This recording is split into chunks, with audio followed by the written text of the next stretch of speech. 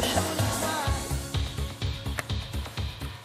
Bonjour Béatrice, Bonjour Stéphane Laurent. Echer. Tiens, on en parlera Oui. euh, demain samedi avec euh, Fred Zetoun. Alors, c'est à l'Institut Giacometti que ça se passe. Et effectivement, on a un maître de la photo et un maître de la sculpture. Et les deux font bon ménage, en fait. Les deux font très bon ménage. C'est la deuxième fois que l'Institut Giacometti donne carte blanche à un artiste contemporain pour euh, revisiter l'œuvre de Giacometti. L'Institut Giacometti euh, dit forcément euh, œuvre de Giacometti à, à l'intérieur. On avait parlé d'Annette Messager avant Noël. Là, c'est le tour de Peter Lin- Lindbergh, le photographe que vous connaissez tous. Enfin, qui n'a pas ouvert un magazine Voilà. ne connaît pas les photos de Peter euh, euh, On regarde pas toujours le nom, on regarde les modèles quelquefois. oui, mais là, euh, c'est vrai qu'on regarde les modèles plutôt sexy parce que c'est vrai qu'il a photographié tous les plus Oui. grands tops euh, du monde entier. euh, entre autres, Peter Lindbergh, c'est aussi beaucoup de pochettes d'albums, de Gainsbourg. Enfin bref, voilà, quelqu'un qui a 40 ans de carrière déjà à son actif. Il n'en est pas à son coup d'essai. Ce n'est pas la première fois qu'il fait la photo euh, de l'œuvre Giacometti. Il avait fait ça avec un musée allemand il y a quelques années. Là, il réitère euh, pour la, la fondation. Donc les photos que vous allez voir sont tout à fait inédites. Et pourquoi Giacometti? Parce qu'il est fan absolu euh, de Giacometti. Pour lui, c'est pas de la sculpture, c'est quelque chose qui bouge, c'est quelque chose de vivant. Et il me disait même que par moment, il essaye de, de- à force de les regarder dans les yeux, ces sculptures, il a l'impression qu'elles vont s'animer. Donc il a presque envie de leur parler en disant mets-toi un peu plus comme ci, mets-toi un peu plus Oui, comme ça c'est comme les visages, ça retient la lumière d'une façon ou d'une autre. Ça retient la lumière parce que ouais. justement, euh, avec le geste de Giacometti, c'est pas une sculpture lisse, effectivement, ça prend la lumière dans tous les sens. Et pour un photographe, c'est du pain béni. Regardez.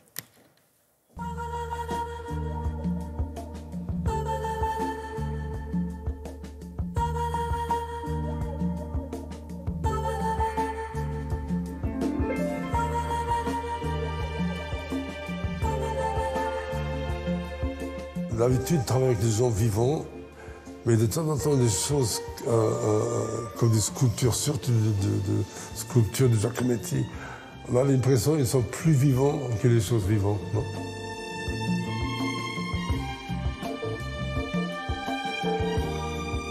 Avec ses mains, il, est capable de rendre une vraie vie. Et donc, il a une vraie existence, une vraie personnalité. C'est pas juste euh, une sculpture. Et on change la lumière, on tourne la sculpture et elle, devient une autre personne, comme une, vraie personne. hein. C'est magnifique ce qui reste de la vie, qui, qui reprend la vie dans les sculptures de Giacometti. Et ça, c'est unique. hein.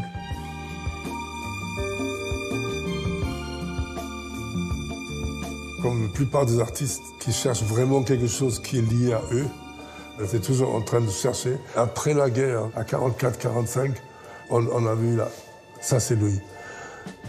Et après, il reste là, à cet petit endroit, il reste et il bouge plus. Il reste là parce qu'après, n'a rien à trouver mieux que ça. Il a trouvé quelque chose. Ça, c'est la plus belle chose qu'on peut dire de l'artiste.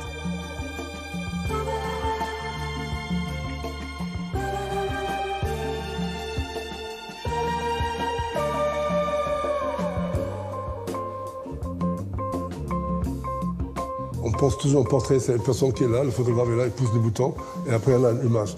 Et c'est jamais ça. Un portrait, c'est le résultat d'une communication, donner, prendre et tout ça, euh, entre deux personnes.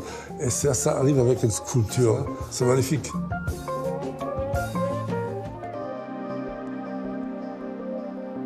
Dans l'expo, euh, le plus grand tirage sur le mur, euh, on voit le visage qui est, qui est 2,50 m d'auteur et qui est en, vrai, en vérité ça. Et si on mettait une petite lumière dessus, on découvre un visage d'un pouvoir incroyable. Ça sort de nulle part, on n'a pas vu avant. Au début, je disais toujours, le noir et blanc, ça transforme la, la vérité. Quoi. Donc c'est déjà un petit pas vers l'art, parce qu'on transforme quelque chose. Dix ans plus tard, je dis, ah oui, noir, c'est beaucoup plus vrai. C'est un côté réel. Et donc, ça, c'est toujours resté comme ça. Donc, quand je fais noir et blanc, j'ai l'impression que j'ai fait quelque chose qui est vrai. Et quand je fais en couleur, j'ai pas ce sentiment. Si je rencontrais aujourd'hui, je crois que je faisais euh, un petit croix. Et je, je l'embrassais et je me jette par terre. Voilà, et un grand merci à Pinter Lindbergh qui était souffrant ce jour-là et qui est quand même venu pour vous, pour Télématin, pro, ça. faire, faire- l'interview. Donc c'est très sympa, un grand merci. Vous pouvez voir donc ses œuvres jusqu'au 24 mars à l'Institut Giacometti dans le 14e arrondissement à Paris. À Paris. Merci beaucoup, Béatrice.